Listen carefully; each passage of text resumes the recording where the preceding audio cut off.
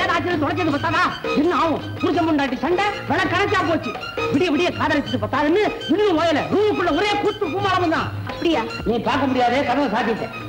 ஆண்டவா தாலி கட்டி முடிஞ்ச உடனே புருஷன் பஞ்சாயத்துக்குள்ள தகராறு வந்துருச்சு. என்ன ஆகுமோ ஏதாகுமோ பயந்துட்டு இருந்தேன். நீ எனக்கு எவ்வளவோ ஆறுதல் சொன்ன. ஆனா இப்ப தப்ப எனக்கு உயிர் வந்துச்சு. என்னடா ஐயா கிட்ட கதை வந்துகிட்டு இருக்க? ஒண்ணு இல்லைங்க. எல்லாம் நல்ல சமாச்சாரம் தான் சொன்னாரு. அப்போ நாங்கெல்லாம் ஊர் பரப்புறோங்க இன்னும் ஒரு வாரம் பத்து நாள் எல்லாரும் தங்கி இருந்துட்டு தான் போகணும். இல்லைங்க.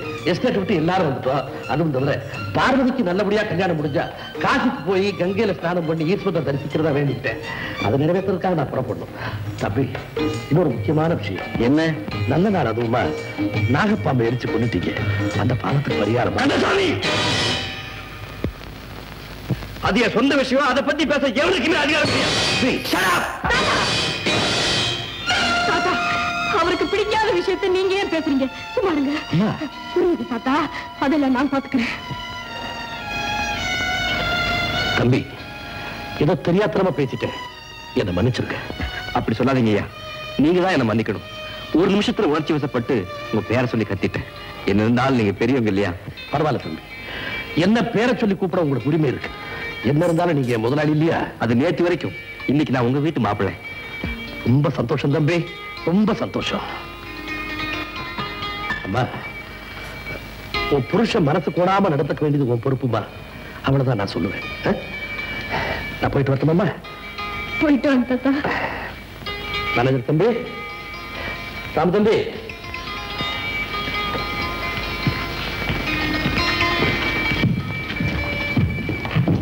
தாத்தா சொல்லதே நானும் சொல்றேன். உன் புருஷன் அந்த பாம்பை கொண்டுட்டதுனால குடும்பத்துக்கு ஏதாவது கெடுதல் வரும். அதனால அதுக்கு ஏதாவது சாந்தி பரிகாரம் பண்ணா நல்லதுன்னு நினைக்கிறேன். கவலைப்படாதீங்கண்ணா. என் தெய்வம் உயிரோடு தான் இருக்கு. அப்படியா? உயிரோட இருக்கா? ஆமாண்ணா. ராத்திரி படுக்கறைக்கு வந்து அவருக்கு தெரியாம என்ன பார்த்துட்டு போச்சு. உண்மையாவா?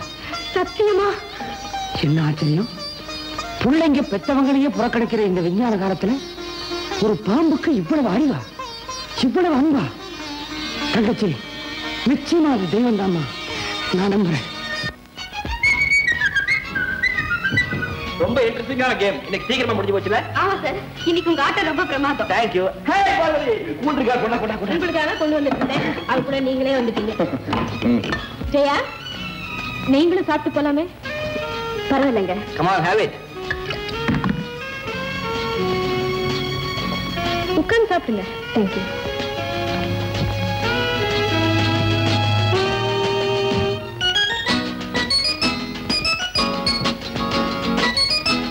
உட்கார் பார்வதி ஜெயா ஒரு விஷயம் தப்பா நினைக்காதீங்க. என்னங்க காலாகாலத்துல ஜெயாவுக்கும் ஒரு கல்யாணத்தை பண்ணிட்டா நல்லா இருக்கும்ல? கரெக்ட் நான் நீ சொல்லிட்டேன். மன்னிச்சுக்கோங்க எனக்கு வேண்டாம். ஏன் கடைசி வரைக்கும் கல்யாணமே செஞ்சுக்காம இருக்க போறீங்களா என்ன? அப்படி இல்லைங்க. எனக்கு வரப்போற புருஷனுக்கு எது பிடிக்கும் எது பிடிக்காதுன்னு கல்யாணத்துக்கு முந்தையே தெரிஞ்சுக்கிட்டா தான் குடும்பத்துல குழப்பம் வராம இருக்கும். ஆமாமா அதுவும் சரிதான். ம்ஹும், தப்பு. கல்யாணத்துக்கு அப்புறம் கூட கொஞ்ச நாளையே தன் புருஷனை பத்தி மனைவி நல்லா புரிஞ்சுக்க முடியும். புருஷன் சொல்றது சரியோ தப்போ? தர்க்கம் பண்ணாம தகராறுக்கு இடம் கொடுக்காம மனைவி கொஞ்சம் விட்டு கொடுத்துட்டா குடும்பத்துல எப்படி குழப்பம் வரும்? என்னை பொறுத்த வரைக்கும் அப்படித்தான். என்னங்க? இதுவும் சரிதான். ஜெயா? மன்னிச்சுக்கோங்க. இப்ப எனக்கு அந்த எண்ணமே இல்லை. நான் வரேன். ஆமா. உங்களை ஒண்ணு கேக்குறேன். என்ன? இந்த ஆட்டத்தை ராகு அண்ணன் ஆட மாட்டாரா? உங்க செக்ரட்டரி தான் ஆடணுமா? சந்தேகமா? இதுதான் உலக பொது வியாதியாச்சே. உன்னை மட்டும் விட்டுடுமா என்ன? ஐயோ தப்புதான் சாமி. என்ன மன்னிச்சிருங்க. பயந்துட்டியா? தபாஷ் பரட்டின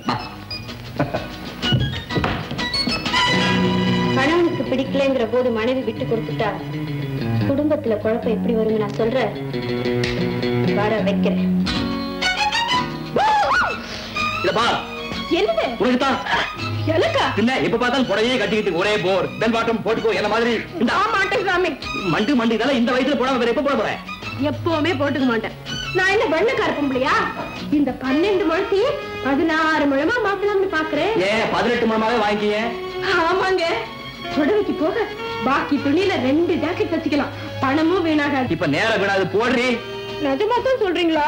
இல்ல உங்ககிட்ட விளையாடுறேன். அப்படித்தான் நினைச்சிட்டு இருக்கேன் இப்ப போட போறே இல்லையா? நான் மாட்டேன். போடுன்னா போடணும். மாட்டேன்னா மாட்டேன். எனக்கு கொஞ்சம் கூட பிடிக்கல. எனக்கு பிடிச்சிருக்கே. என்னங்க? இத போய் பிடிச்சிருக்குன்னு சொல்றீங்க? புருஷன் சொல்றது சரியோ தப்போ? தர்க்கம் பண்ணாம தகராறு கிடமில்லாம கொஞ்சம் விட்டு கொடுக்கத்தான் வேணும். அதுதான் மனைவிக்கு அழகு அப்படியே நீதானே கிட்ட சொன்ன. ஆமா. அப்ப விட்டு கொடுக்கறேன்னு சொல்லிட்டு இப்ப விதண்டாவாதம் பண்ணா எப்படி? வா. நான் சொன்னதை வச்சு என்னையே மடக்குறீங்களா? மடக்கறணும் அடக்கறணும் படக்குறத போட்டுக்கணும். போட தெரியாது விடு. நான் போட்டு விடுறேன்.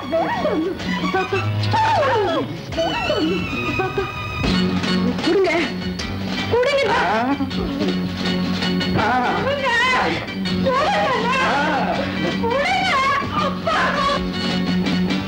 கவலைப்படாது. என்னைக்குமே பாம்பு விஷயத்துல மட்டும் புருஷன் பொண்டாட்டிக்குள்ள கண்டிப்பா கருத்து வேறுபாடு உண்டு. அதை வச்சு அவங்களை எப்பவுமே இணைய முடியாத இரு துருவங்களாக்கப்படும் எப்படின்னா ஒரு பாம்பு பிடார்ல பார்த்து வச்சிருக்கேன். அவனோட பாம்பு ராஜாவுடைய படுக்கறைக்குள்ள நுழையும். ராஜன் பாம்பை பார்க்க போறான். புயல் எழும்பும். போராட்டம் தொடங்கும். நம்ம திட்டம் நிறைவேறும். எப்படி நல்ல ஏற்பாடு. சீக்கிரம் நடத்துங்க.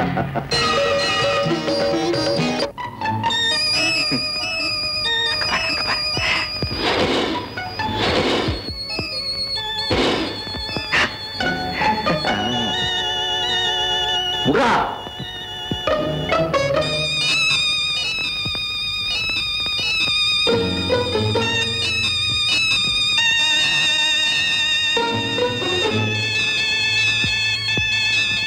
போடா.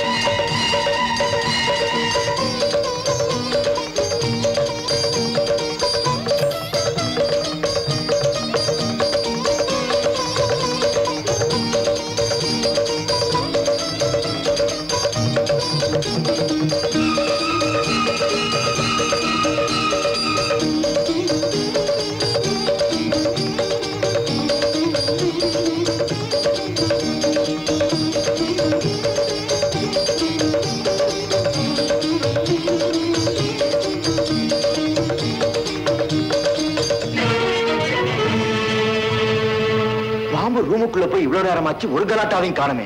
ஒருவேளை பாம்பும் பாலை குடிச்சு தூங்கி இருக்குமோ?